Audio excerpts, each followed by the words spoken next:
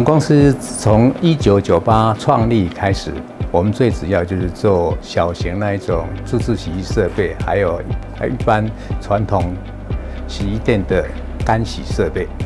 那后来自制洗衣二两千零二年开始的话，我们就是就像现在这种大型的滚筒式的自制洗衣设备，然后开始开店，一直到现在。目前来讲，我们公司差不多四百多家。啊，自己直营的有四十家。我们公司的英文名叫 Asian，Asian Laundry，所以你看我这边都有每个地区我都已经注册好了，所以将来我是朝向亚洲去发展。我们现在要做的就是好像以前超商革命，就是呃，就是 Seven 有人他要打败以前传统那种杂货店一样。做一个革命。现在人口老，人，人口啊，呃，因为老化问题，呃，所以人力对台湾来讲，各行各业都是一个很严重的问题。所以这种无人的自助洗衣店是未来一个趋势。对。啊，目前来讲，呃，我们这个行业来讲，在台湾来讲，就是第一个，它设置成本很高。基本上年轻不适合年轻人想要创业的，除非他是富二代，他本身有钱没没地方去做了，可以来做。那目前我们最主要就是一些银发族，比较退休的人，或是身上有闲钱的人，他没有办法，哎，没有地方好的投资标的，他可以做这个自助洗衣。因为退休的人，你叫叫他啊，就是。玩了半年以后，他就会慌了，不知道干什么。哎，那这个行业对他一些退休的人刚好。第一个，他清洁每天自己可以做，那他要求的呃营收他也不高，不需要不会要求很高，一个月比如说两三万块，等于是个人每个月的零花钱，他不去不要伸手跟小孩子要钱，过的生活有尊严，所以。年老人退休，银发族是我们的对象，还有一些啊很有钱的人。第一个，他没有很好，景气很现在景气很差，没有很好的投资标的。那投资这支洗衣店，如果说它的回报比这个银行的利息高，他就可以投资。这是目前这两大族族群。台湾它有两趴，哎，你发现多？哎。一般来讲，我如果抓五年回收的话，那就二十趴。那现在因为来讲，就是说，第一个这样这种自助洗衣店，第一个它的那个门槛很高，所以是不适合年轻人，因为年轻人本身要创业，他没有钱嘛，所以基本上不适合。那我们有几个案例，就是说啊，有很多卡尼摩吉有钱人，他有三个小孩子，啊，三个小孩子都没有工作。他的他常常跟跟跟他父亲讲啊，我要创业，就五百万、一千万，一下子花光光了。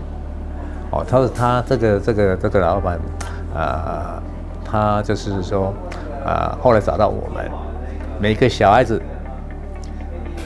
开一家自助洗衣店，他那店都是用自己买的，买了店以后开自助洗衣店，每个小孩子都给他一家店，这样他小孩子第一个有工作。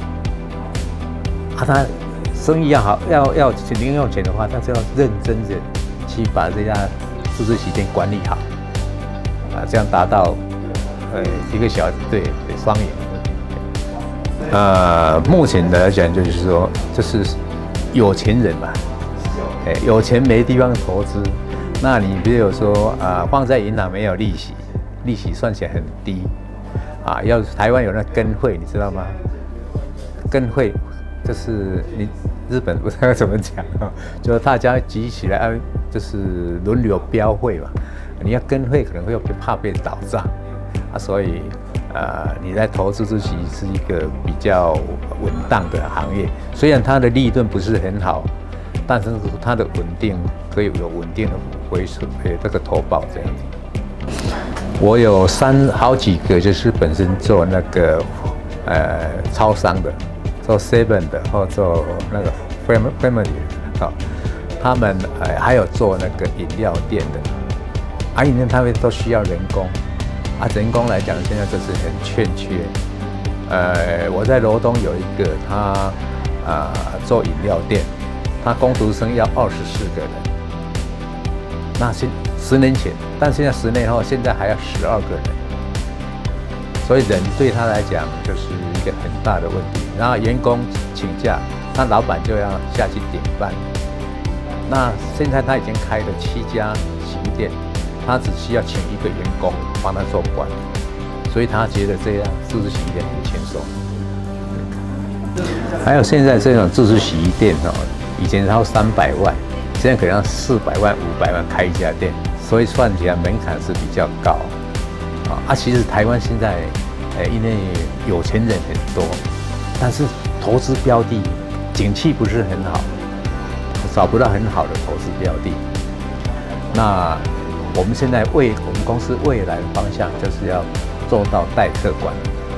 开店来讲，你只要投入金金呃呃投资一笔金额来，那我们会公司整个帮他做管理。因为有钱人可以拿出五百六万、一千万的人，你叫他实际上来做自助洗衣店，他不愿意，这个很繁琐，对他来讲他很乱。但是如果他投资在这个自助洗衣店，他比银行利息高，他就愿意。啊，所以未来这个叫做带公司的方向，叫帮客人管理。对，这种自助洗衣店来讲，第一个他没有人，但是他最大的负担就是租金。租金的压力啊，所以说啊，你看一般自助洗衣店来讲，平常都看不到什么样的人，但是他也不会关掉，为什么？因为他随便做，一定做到做得到房租，因为他没有店员啊。所以说，我们如果我们现在一直在做异业结盟啊，任何有可能的复合，我们都去寻求。毕竟就是说啊，一家店的店店租金。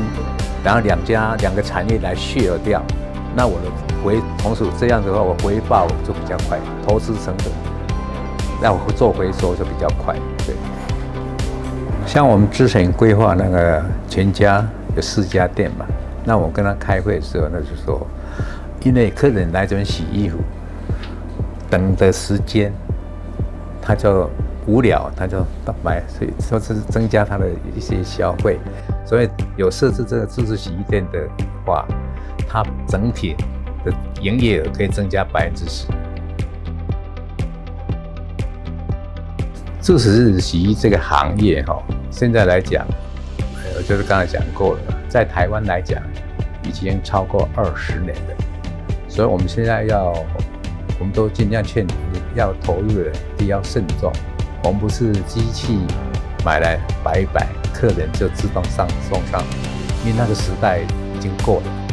台湾在二零一零年之前，你可以看到电视上的报道，过年的时候，哇，排队排了很久，但现在已经没有了。好，所以现在已经面临一个红海，好，就是互相竞争，所以必须要其他新的想法出来，或是做互合，所以相对门槛位置提高。还有一个就是它的。设备也是很重要。以前就是用一般的机器随便买一买就可以了，但是现在应该要未来趋势就是洗透风的机器，哎，你洗风一次完成的机器。啊，另外必须还要复合，复合其他业种啊做异业结合，这样才能就成功的机会比较大。基本上来讲，呃，日日本每一家的服务都很好，尤其是东坑都是，哎。